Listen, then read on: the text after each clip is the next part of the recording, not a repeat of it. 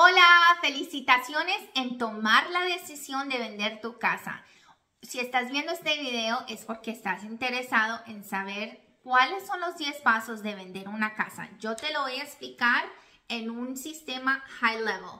Pero lo primero que quiero que sepas es que tú estás en muy buenas manos. Yo tengo el honor de hacer esta carrera hace más de 10 años y tengo una beca en mercadero y en bienes raíces de la Universidad de Florida State University. Así que estás en muy buenas manos porque yo tengo la experiencia y el knowledge de combinar las dos y de vender la casa.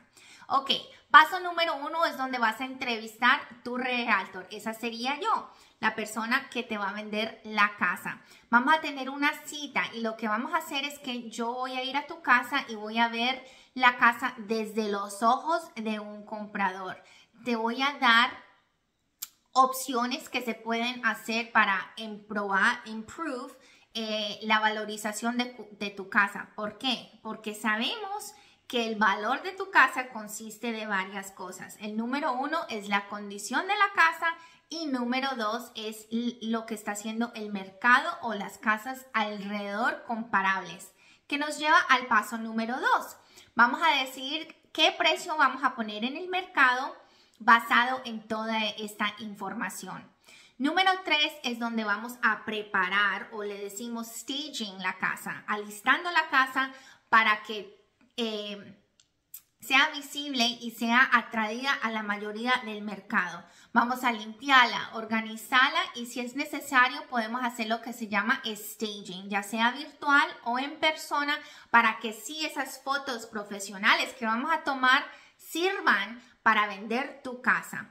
Nos lleva a paso número cuatro que viene a ser el mercadero. Yo tengo un mercadero muy comprensivo, te voy a dar toda la información de qué hago yo diferente para vender las casas. Pero lo que vamos a hacer es que te vamos a dar un paquete especial para ti y tu casa, no solamente en forma de prints, ¿ok? Pero también en forma que es bien tecnológica. Te vamos a dar QR codes. Tu casa va a tener su propio website y muchos, muchos más recursos para poder vender tu casa. Número 5 es cuando ya nos estamos preparando para poner tu casa en el MLS o en el mercado. Ahí vamos a poner las, fotos profesionales y vamos a describir qué hace tu casa diferente a las otras y por qué queremos creemos que la casa de nosotros que estamos vendiendo se va a vender ah, mejor que las ah, competitivas en, en la comunidad. Yo te voy a ayudar con toda esa información que nos lleva a paso número 6. Paso número 6 es cuando nos estamos alistando y vamos a enseñar la casa y abrimos nuestras puertas al público. Vamos a tener open houses, brokers opens y te vamos a ayudar a demostrar la casa lo mejor posible. ¿Por qué?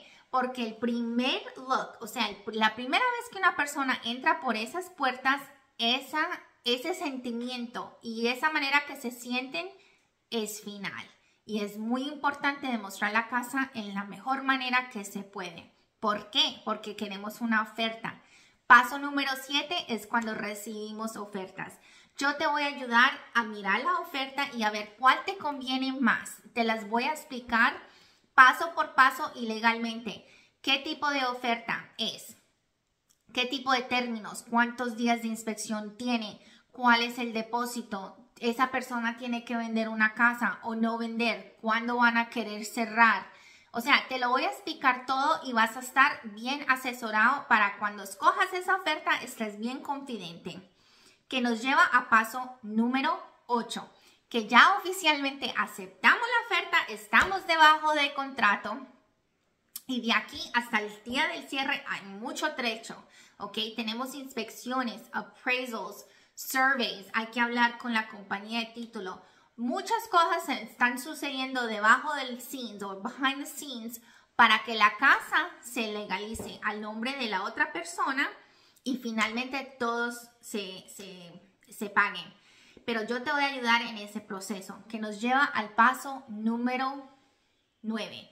El número 9 es ya al final, cuando ya nos estamos preparando el día final para transicionar eh, de dueños a la casa. Pero guess what? Todavía hay más trabajo. Tenemos una inspección final y yo te voy a ayudar con eso también. Y ese es el día que vamos a ir al día del cierre, que es paso número 10. Ese es el paso donde todos estamos contentos porque ya todos nuestros esfuerzos se han culminado y vamos a ya vender la casa.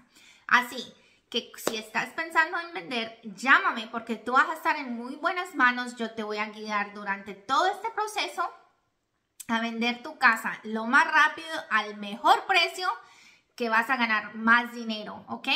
Así que llámame, mi nombre es Alejandra, yo trabajo con Agile Group Realty y estoy muy contenta en poder ayudarte. Bye.